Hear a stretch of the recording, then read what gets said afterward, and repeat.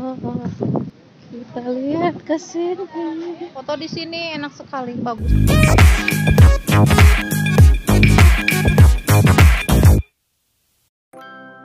Assalamualaikum warahmatullahi wabarakatuh.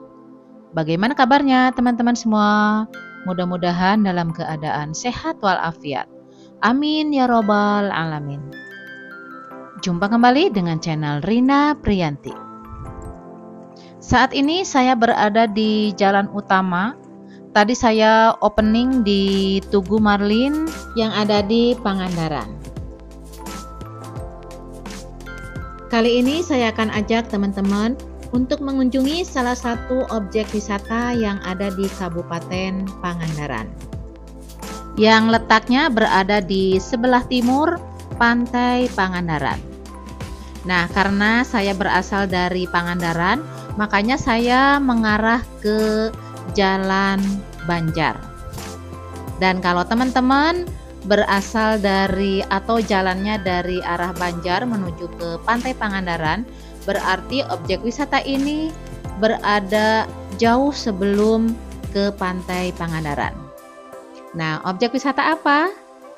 Yaitu Pantai Karapia.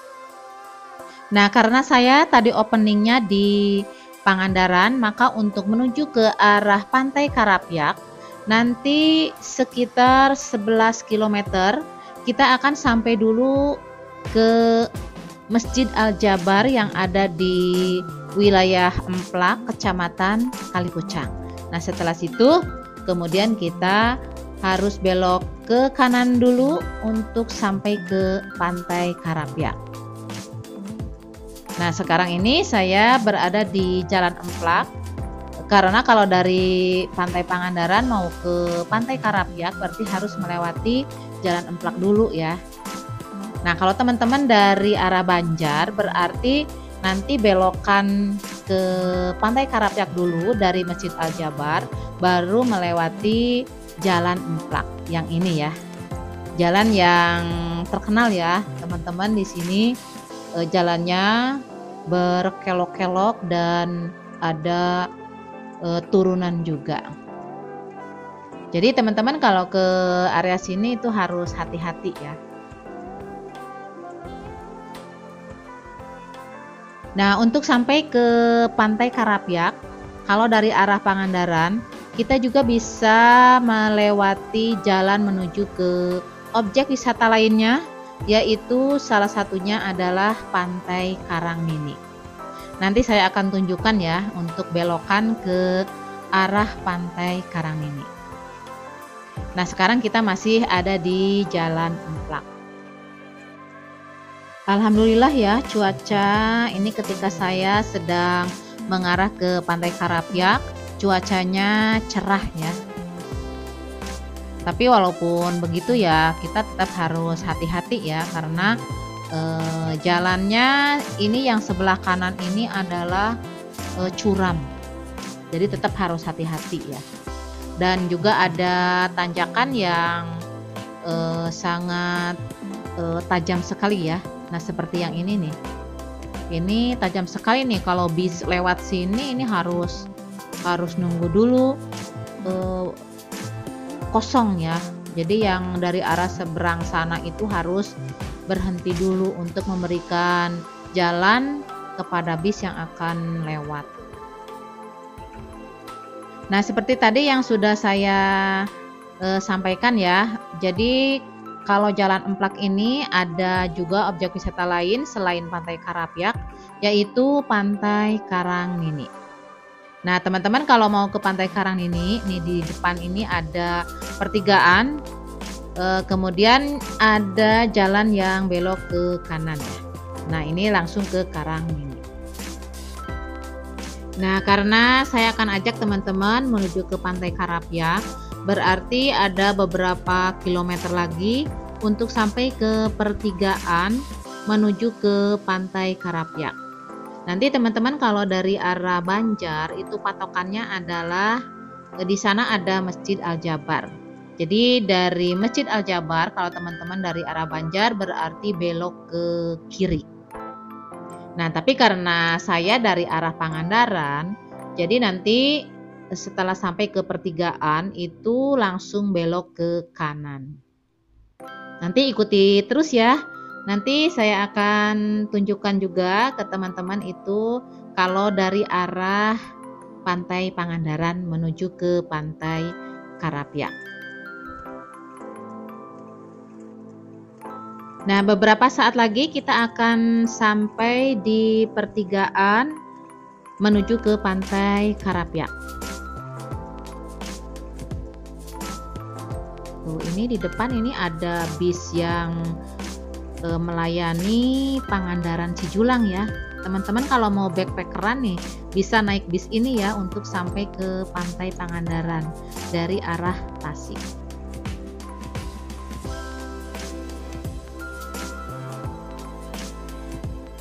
Nah, kita sekarang sudah sampai di pertigaan, berarti saya dari Pangandaran harus belok ke kanan.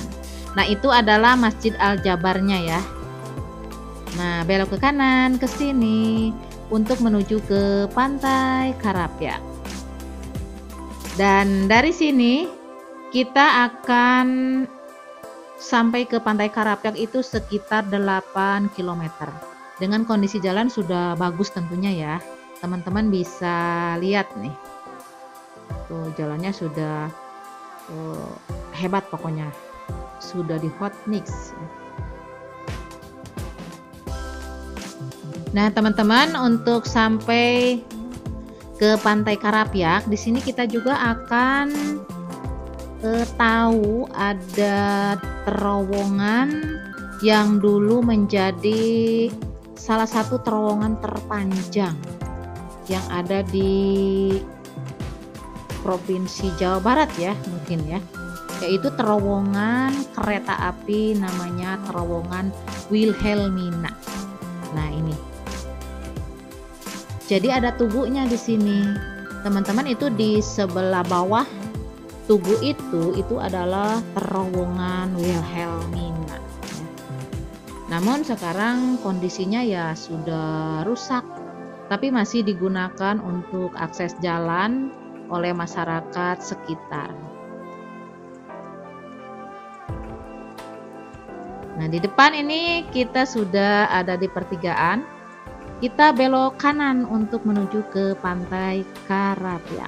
Kalau tadi belok kiri itu menuju ke arah pantai Palatar Agung. Nah, kita lurus langsung menuju ke Pantai ya. Namun sekarang di sini juga ada salah satu objek wisata lagi ya, yaitu Karinjing Forest. Nanti saya tunjukkan nih di depan, nih yang ke sebelah kanan ya. Tuh ke kanan.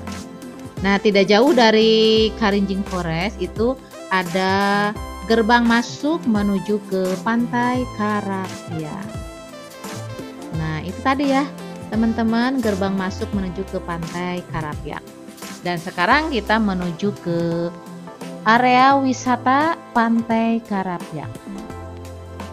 Dan untuk tiketnya sendiri menuju ke Pantai Karapyak itu tiketnya sama dengan Pantai Pangandaran ya. Jadi Pantai Karapyak itu termasuk salah satu destinasi wisata dari lima destinasi wisata unggulan yang ada di Kabupaten Pangandaran.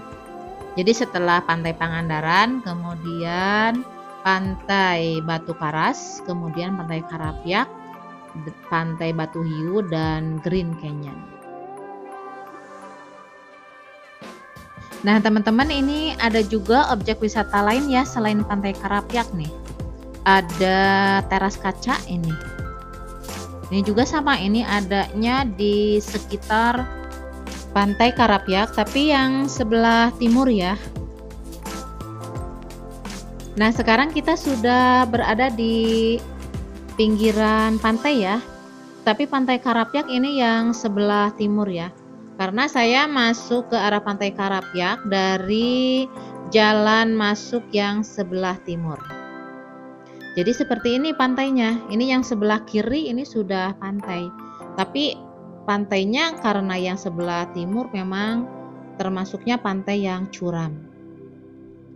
Nanti kita lihat situasi pantainya yang ada di sebelah sini ya. Di sini kita berhenti dulu. Tuh di situ, di handap. Jadi sekarang banyak warung-warung kopi ya, teman-teman nanti bisa uh, berhenti dulu. Kita lihat ke arah sebelah sini. Oh itu juga tuh dipakai parkir sekarang. Kita ke sini. Oh. Jadi sekarang kita sudah sampai di Pantai Karapyak yang sebelah timur. Tuh, nanti kita ke sana ke Pantai Karapyaknya. Kita lihat ke sini dulu.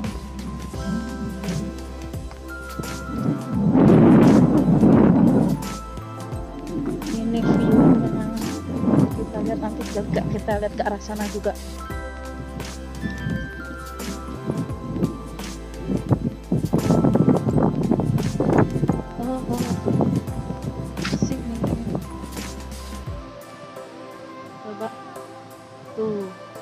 Pantai Karapyak sebelah timur itu seperti ini tuh teman-teman. Jadi pantainya karang dan tidak ada area pasirnya ya. Seperti ini. Sampai ke sana juga sama. Area pasirnya ada tadi di sebelah sana. Saya lihat ada sedikit. Dan di sebelah sana juga ada tuh area pasir. Hampir semuanya ke sana ke sana juga itu eh, apa batu-batu ya batu-batu karang yang terjal. Dan di sini dulu pernah ada sarang walet, tapi nggak tahu saya juga sebelah mana. Seperti inilah kita sih di pantai Karangnya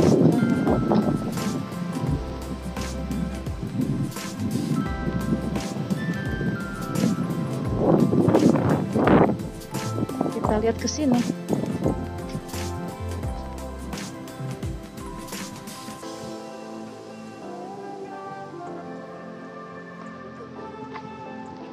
sekarang kalau di pantai Pangandaran sedang surut ya. Sedang surut itu e, banyak surutnya.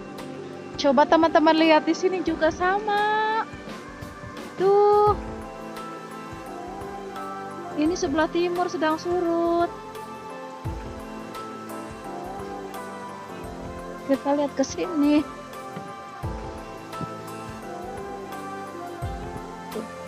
ini ada area uh, tempat duduk-duduk. Seperti ini pantainya. Dan sekarang saya berada di depan Pulau Nusa Kambangan. Ini teman-teman. Jadi pantai Karapyak itu paling timur. Tapi ada lagi di sana malah yang depan Nusa Kambangan ada pantai lagi. Tapi pantai Karapak salah satu yang berhadapan dengan Nusa Kambangan ya yang sebelah timur nih yang sebelah timur ini. Jadi ini saya ada di sebelah Tanjung itu ke sananya. Nah kalau ini yang ke area sebelah sini tuh seperti ini Nanti kita ke arah sebelah sana ya, karena pantai Karapyak ada eh, yang ramainya itu sebelah sana. Tapi sekarang sedang surut, berarti kita bisa lihat hamparan karang ya. Salah satu keunikan dari pantai Karapyak.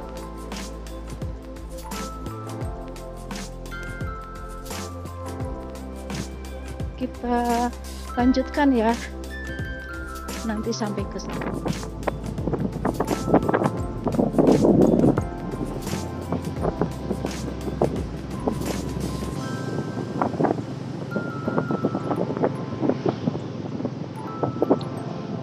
Jadi ini sebelah kiri sebelah kiri saya ini uh, pantai tapi pantainya pantai curam dan pantainya sempit tuh. Ini karapia glamping tuh. Jadi ini ke sana ke atas.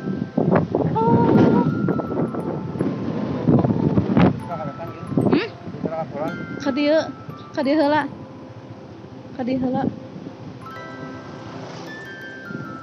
kadieu tuh. Sedang surut. Kita lihat ke pantai. Pantai menuju surut. Bisa ada gazebo sini.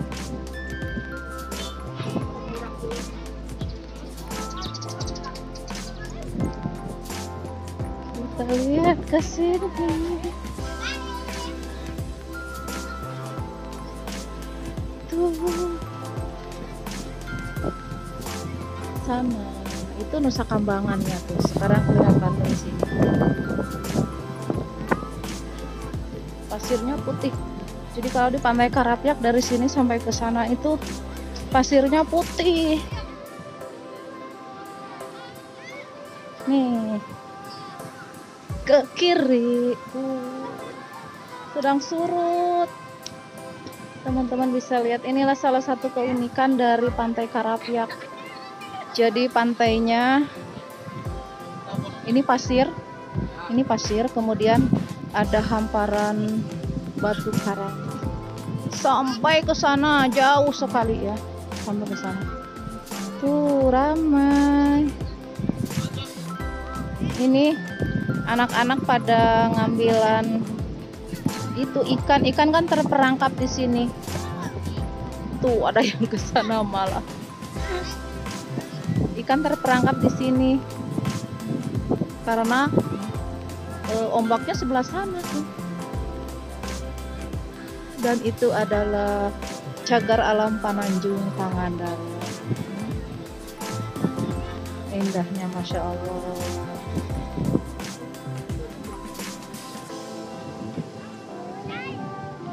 Pada ngambil pakai itu pakai keranjang dan di sini tuh ada bendera ini tidak boleh berenang. Jadi kalau sedang air penuh itu bisa sampai sini. Dan bawahnya itu karang. Dan ketika surut itu seperti inilah penampakannya. Hamparan batu karang sampai ke sana.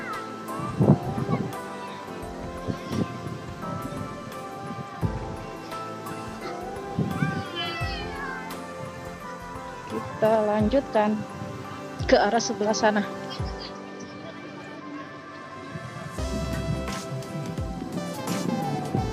Di sini juga ada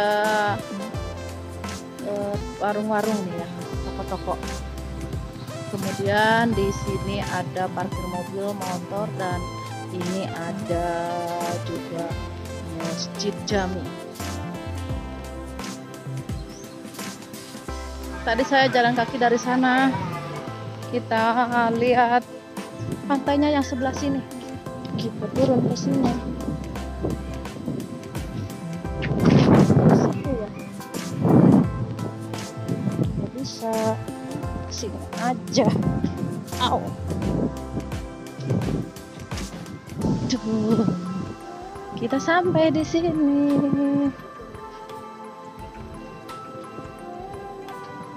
Di sini banyak kerang-kerang juga tuh. Nih, dilarang berenang.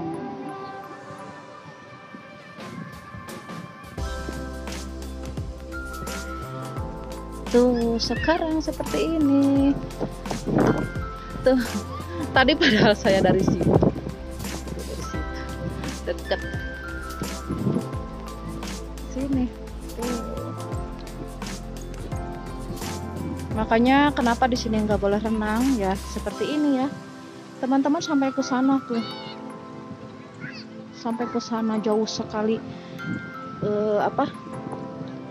karang-karangnya. Ini kalau di kamera dari sini kelihatan tuh hotel-hotel di pantai Pangandaran. Dan itu cagar alam Pananjung Pangandarannya. Kelihatan sekali. Tapi eh, nanti saya ajak teman-teman untuk ke area sebelah sana ya, karena ini masih masih jauh untuk sampai ke arah sebelah sana. tuh duduk-duduk seperti ini. Ini kalau lagi musim agar eh agar e, rumput laut kalau lagi musim ini di sini bisa ambil rumput laut ya. E, bahan dasar dari agar-agar di sini nih. Banyak ke sana saya dulu pernah ambil ya senang sekali. Ambil cabut cabut cabut gitu ya. Masukin ke karung. Di sana jauh jauh di sana ya ambilnya. Pas begitu udah udah satu karung berat bawahnya mau ke pinggir pantai. Jadi harus dibantu sama teman-teman karena banyak kan ya e, ngambil ngambil rumput lautnya banyak kan. Dan jenisnya juga ada yang hijau kemudian ada juga yang warna coklat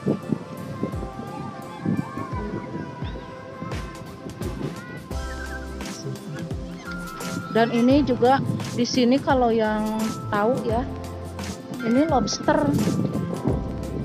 Juga di sini karena di karang-karang ya. Alhamdulillah nih cuacanya cerah sekali. Kita ke sini lagi ke darat. Ke darat. Ke area uh, sebelah yang teduh-teduh di sini.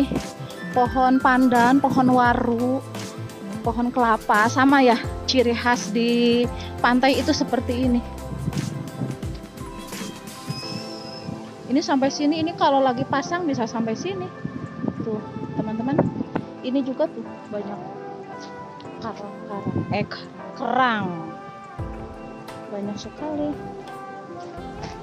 Ini yang gini nih. Hmm, bagus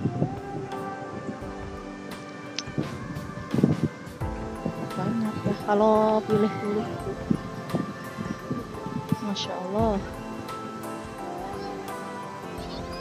Kita bisa lihat.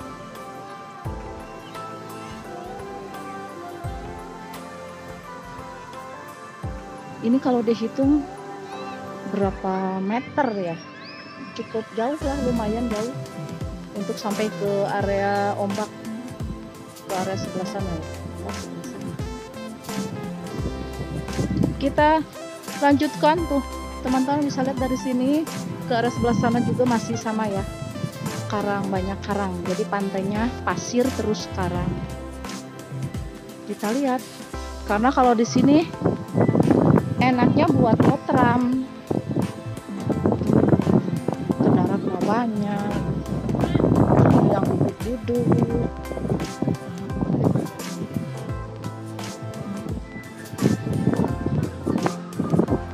jadi kalau ke Karepyak itu seperti ini. Buat botram buat santai-santai buat camping juga di sini. Ataupun ada acara juga bisa di sini kan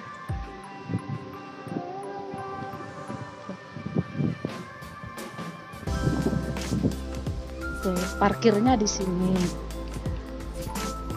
jadi kalau camping pun di sini itu deket deket mobil ya.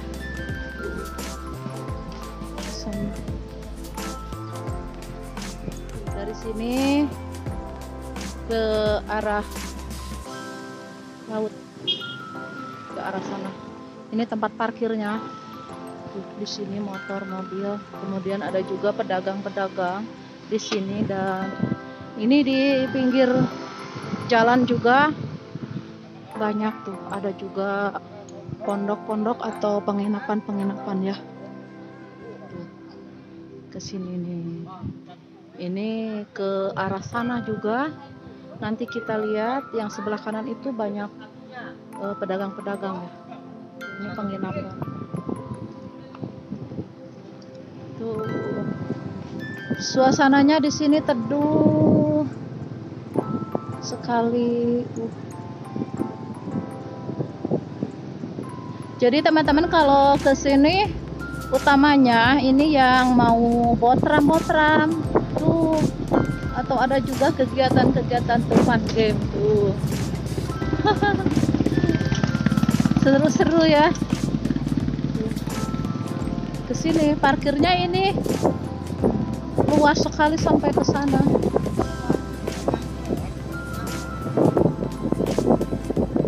jadi itulah jadi oh jadi lagi. Di Karapiak itu bisa botram-botram dan pinggir pantainya kan enak-enak sekali. Walaupun di area airnya itu nggak bisa dipakai untuk berenang ya. tapi keunikannya Masya Allah.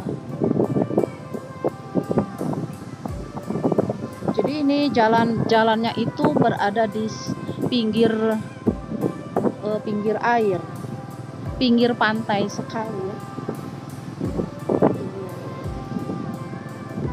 Nah ini dekat sekali ke area air, ke area pantai. Di mana mam? Dia ya nyampatkan orang apa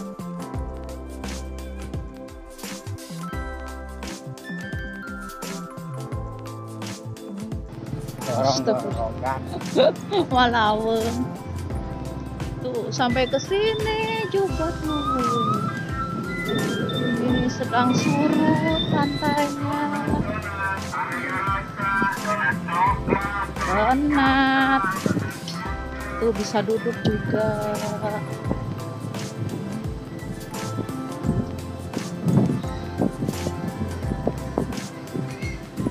Sampai sini juga.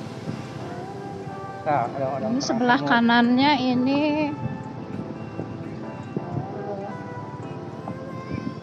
warung-warung juga.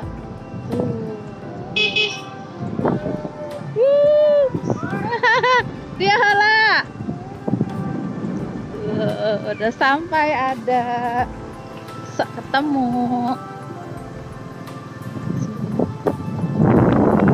Nanti di area pantainya nanti eh, ke sini. Saya mau ke arah sebelah sana dulu.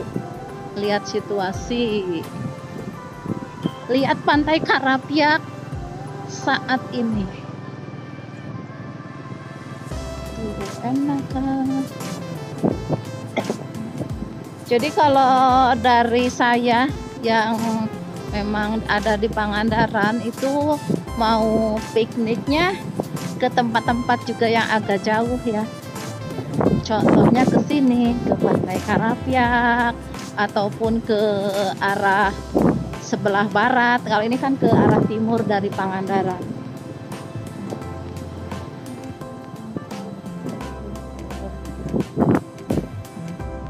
Sini ini lurusnya itu ke arah keluar.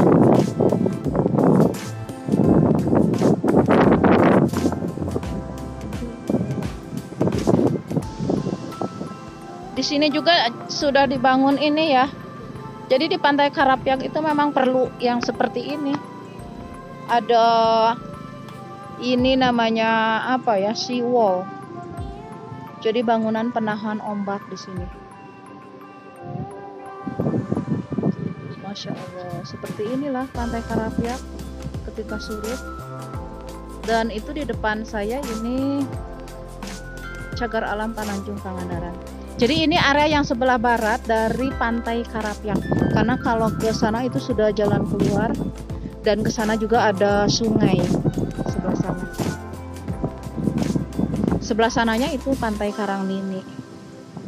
Tuh seperti ini.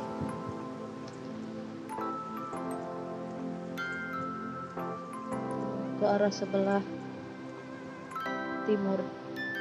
Jadi sekarang pakai ini ya dulu waktu belum pakai ini ini eh, apa tanah yang sebelah sini itu kena air laut ya. Kena abrasi air laut kemudian rusak. Lama-lama rusak. Makanya sekarang dipakai ini. Alhamdulillah ya. Jadi bisa jadi tempat duduk di sini. Duduk-duduk memandang pantai ke sana. Indahnya. Tuh. Nanti kita lihat juga di area sebelah sana ya, tadi yang saya mau tunjukkan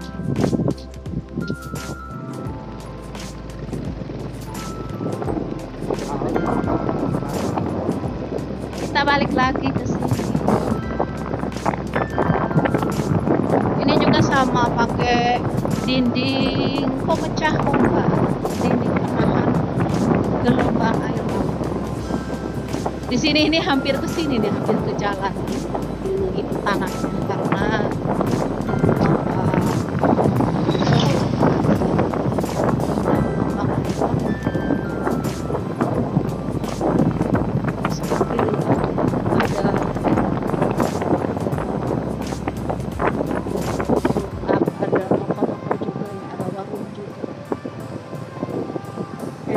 sekali kalau di sini parkir terus duduk makan-makan di sebelah. Ya.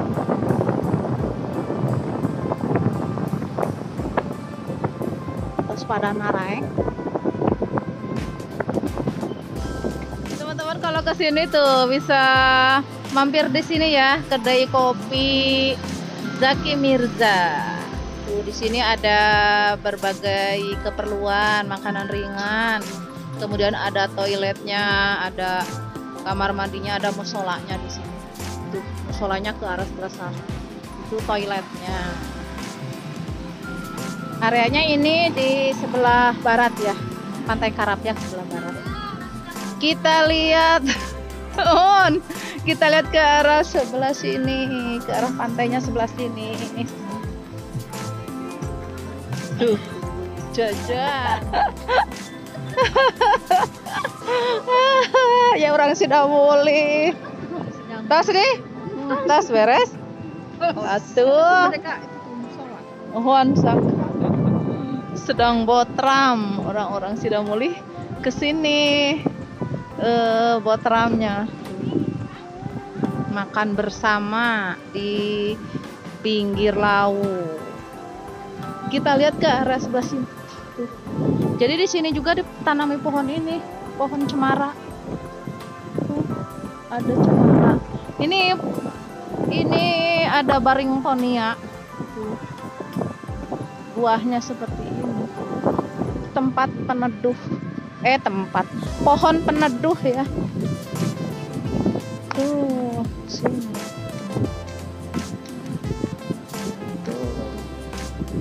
ke sini nyusul. Nyusul. Tuh. Aduh. Healing. healing atuh. Orang sudah mulai healing mumpung ke liburan Heeh, bang mumpung tuh.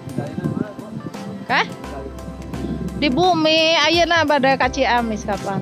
Heeh, nangkap tuh sami di dia ge jadi semakin ke sana tuh surutnya jauh tadi masih ada air jauh ke area sebelah sana.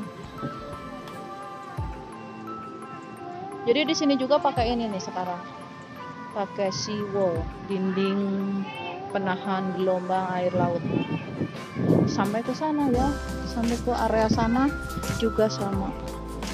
Ini ada pohon yang tumbang ini dibiarkan untuk pemandangan, untuk foto-foto juga bagus.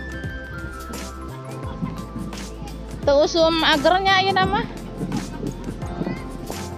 Sana sebagai anak-anak. Jadi tuh dari sini tuh cagar alam Pananjung Pangandaran kelihatan.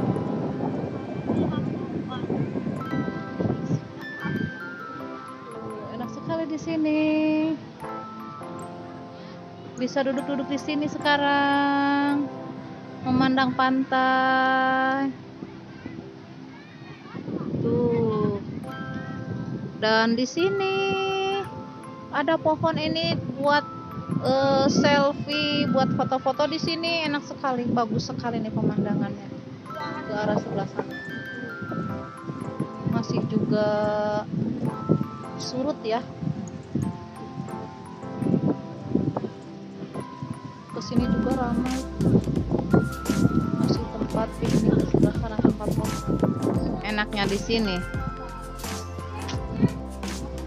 Ini sudah berapa jam di sini? Masih tetap bertahan. Tinggal tinggal petis. Tuh makanya tadi saya nggak kebagian bareng-bareng makan. Tuh sekarang. Tuh wah. Pokoknya enak kayaknya oh, oh abi kasiangan tuh Ayana sudah beres. Pokoknya bisa betah berjam-jam di dia mah. Resep adem terus tidur di sini. Ah. Tuh sekarang tinggal pulang tinggal pulang nih. Tuh ke sana. Ini tempatnya. Tuh teman-teman jadi mobilnya bisa disimpan di sini langsung terus eh, deket ke mobil juga bisa ya makannya. Tuh itu jalan jalan raya sebelah sana. Kalau ada acara pun di sini eh, sering ya sering. Kita balik lagi untuk menuju ke arah pulangnya, ke arah yang tadi ketika masuk ya, jadi ke arah sebelah timur. Kita lihat lagi situasi pemandangan di sekitar pantai Karapia. Nah, teman-teman tadi sudah lihat ya, saya sudah sampai ke ujung sebelah barat dan ini kurang lebih sekitar satu kilometer setengah ya eh, apa panjang pantainya. Jadi area pantainya dengan pasir putih kemudian dengan hamparan batu karang yang begitu luasnya dan panjang. Sampai di sini dulu untuk video kali ini. Mudah-mudahan video ini bisa menjadi referensi teman-teman mengenai Pantai Karapyak. Terima kasih teman-teman sudah mengikuti video saya menuju ke Pantai Karapyak.